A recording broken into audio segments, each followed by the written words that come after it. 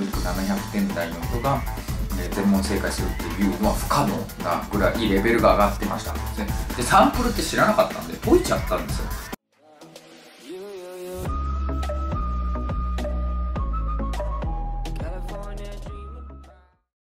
はでは始まりました。ワイチャチャンネルです。今回はですね、えー、先ほどですね、えー、 TOEIC Bridge ですね、新しくなった TOEIC Bridge を受験してきましたんで、まあ TOEIC Bridge っていうのはですね、知らない人も多いかもしれないんですけど、まあ TOEIC の簡単版みたいなやつですね、 TOEIC の子供版みたいなですね、えー、やつで出たんですよ。で、始まった頃、まあ受けたことあったんですけど、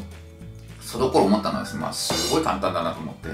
ものすごく簡単で、で、 TOEIC の点数って偏差値みたいなもんなんですね。なので、えーとまあ、みんなができちゃえば全問正解しても満点出ないんですよ。なので昔の TOEIC Bridge 受けた時にです、ね、あの全問正解したのに両ですね。リスニングもリーディングも両方全問正解なのに満点が出なかったんでじゃあこのテスト受けてもつまんないなと思ってですね、えー、そうなんですよ。満点出ないテストってですね、まあ、自分からするとやっても意味ないなっていう感じなので、え、で受けなかったんですよ。で700点ぐらいですね、 TOEIC 700何十点のレベルで大体満点が取れるっていうテストだったんですが、えー、今回ですね、新しく始まったですね、えー、新バージョンのですね、 TOEIC Bridge はですね、無理ですね。はっきり言って絶対無理だと思います。えー、 TOEIC 700点台の人が、えー、全問正解するっていうのは不可能なぐらいレベルが上がってました。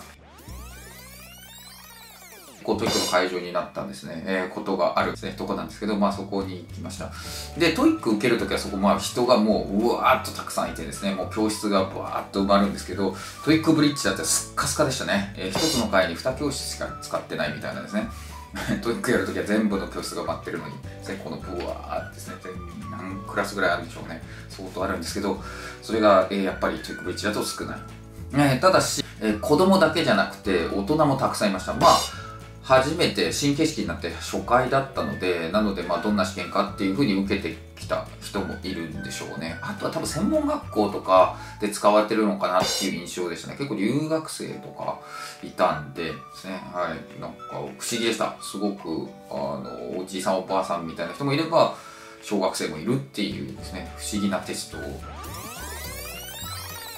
ですね、えー、それぞれのパートごとですね、説明しながらどういう出題形式なのかっていうのをですね、説明しながらですね、えー、話していきたいと思います。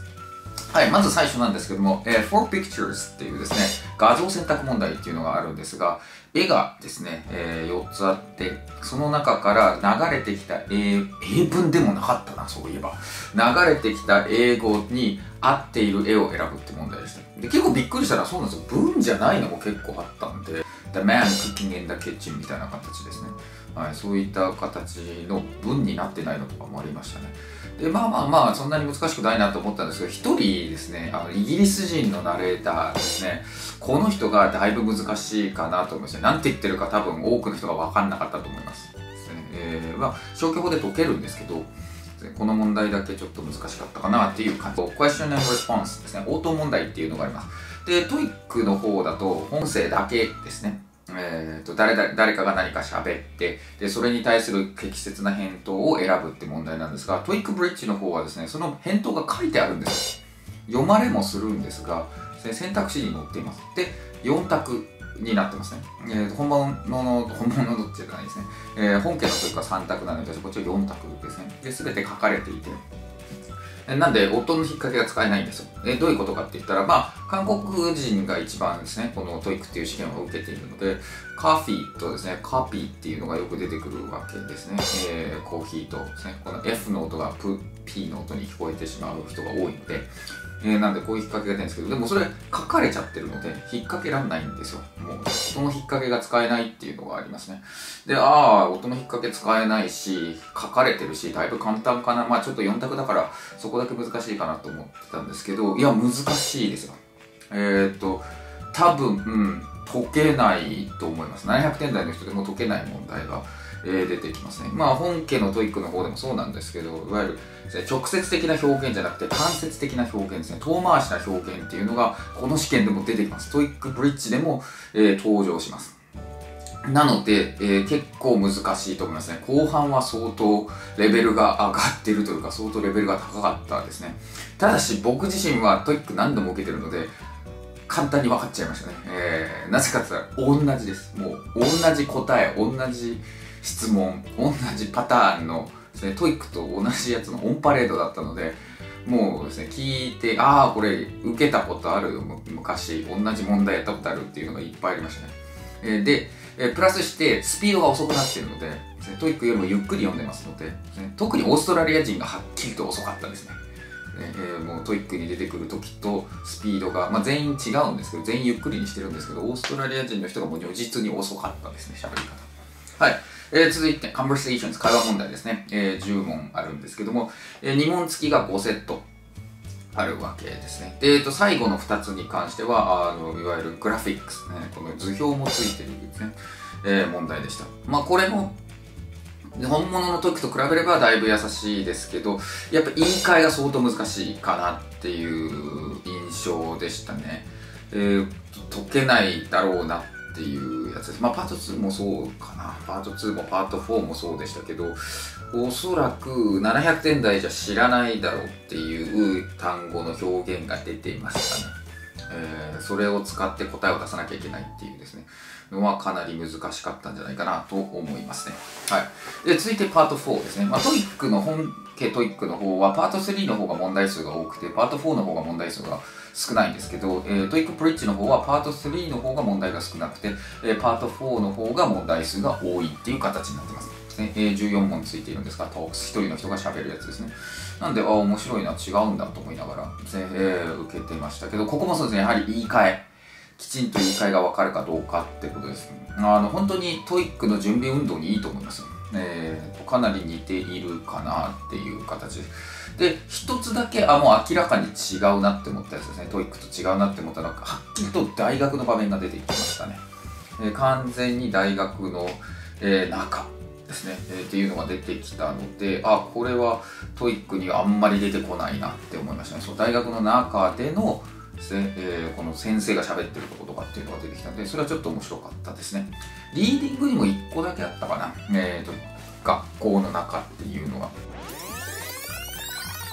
リーディングですね。えー、リーディング35分間で、最初が sentence completion っていう、まあ、穴埋めですね。 TOEIC のパート5を易しくした感じですね。ですが、えっ、ー、と、単語が基本単語になってるだけで、レベル的にはそこまで変わんないかなと思いましたね。えーと、かなり難しい、あの、だから満点防ぎみたいな問題出てましたが、倒置、倒置の問題出てましたからね。えー、だ普通の文の語順じゃないので、こんなの出すんだ、こんなの本物の TOEIC で出しても間違いバンバン出るだろうとかですね、思ったんですけど、えー、そういった問題もありましたね。 TOEIC の勉強を始める人には良かったんじゃないかなと思います。はい。えー、続いてですね、text completion ですね。えー、長文が名前、長文っつってもそんなに長文ではないんですけど、えー、まあ短めのやつで3つ穴が開いてて、えー、そこにですね、入れるやつですが、えー、2セットだけまだ文を入れるものがなかったですね。で、他のセットは、あ最初と最後でしたね。最初と最後だけ文を入れる問題がなくて、他はちゃんと文を入れる問題がありました。で、あとそうですね、気をつけなきゃいけないことが一つあって、あの、サンプルがも載ってるんですよ。サンプル問題ですね。えー、見本の問題が、パートにこの用意されてて、ちょっとパート6のところでそのですね、えー、出てきたわけですよ、サンプル。ですね。で、サンプルって知らなかったんで解いちゃったんですよ。そしたらどういうことが起こるかって言ったら、当然マークがずれちゃうわけですよね。こうやってやってったものが、そうです。1、2、3って書いてあったんですけど、知らなくて普通にこうマークしてって言って、で、解いてって、あれおかしいな、これ番号と合ってないぞと思ったら、あっ、これサンプル問題解いちゃったと思ってですね、時間無駄にしたなと思って。はい、続いてですね、Reading Comprehension ですね、読解問題でしたけど、えっ、ー、と、これは結構難しいと思いますよ。普通の TOEIC に出てきそうな問題でしたね。えー、レベル的にも、普通に TOEIC に出てくるような問題でした。あの、 TOEIC の激ムズ問題にはならないですけど、まあまあそこそこレベルの高い問題もあるって感じですね。だからやっぱり高校生とか、この終わった後に喋ってるの聞いたら、終わんなかった、全然終わんなかったって言ってましたけど、いや、終わんないと思いますよ。えー、と前の TOEIC Bridge だったらもうそんなの終わって当たり前でしょうでしたけど、えー、終わらない人が出てきちゃうようなわからない問題があるっていうのが印象ですね、えー、と言い換えも難しいです。がかなりあこんな表現普通のやっぱ高校までで勉強してきて知らないでしょう、ね、 TOEIC 勉強してないでこんなの絶対わかんないよっていうのも、えー、結構出てましたね。で、もう一つの特徴はですね、あの、会話というか、こうテテクスメッセージのですね、メッセージのやり取りがあって、あの、LINE みたいなやつですね。で、そこに適切なセリフを入れるって問題が出るんですよ。でこれは本気 TOEIC にはないやつですね。なんで面白かったですね。なんか会話問題、えー、やってる感じでしたね。そういうのもあったりして、えー、結構面白かったと思いますね。ね TOEIC Bridge S&W っていうのも新たにですね、えー、完全なる新試験ですね。っていうのも実施されますので、まあ、そちらも受けてきて一体どうだったのかっていうのを話してみたいと思います。はい。えー、ご視聴ありがとうございました。Thank you for watching. Make sure to give me a thumbs up and subscribe to my channel. See you next time. Take care.